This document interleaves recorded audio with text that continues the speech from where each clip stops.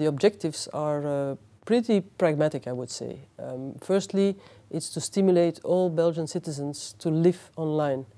And in order to obtain that goal, um, I've got uh, three priorities. The first priority is the digitalization of the education system, because there is still a lot to do, and that's the investment in the young people, the next generation.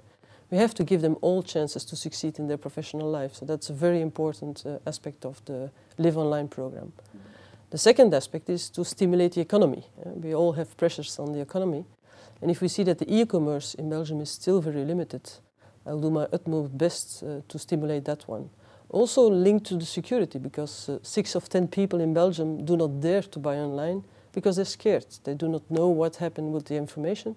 So there's also a responsibility of getting the communication between the government and the citizens uh, stimulated.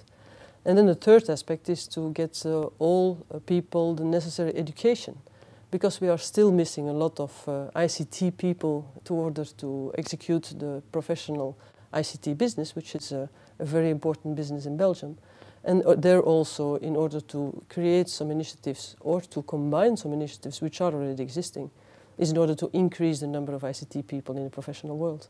With the Live Online program, um, I tried firstly to make an inventory of all initiatives. We have to realize that although we as Belgian people are not very satisfied very easily, I think um, knowing a lot of the individual initiatives which are going uh, out already, stimulated by some, some sometimes some individual people, uh, I think it's a very good thing to make an inventory and to create some visibilities about all things which are already existing and maybe try to regroup them and make a few big ones out of it instead of creating additional new uh, elements which is certainly not necessarily needed.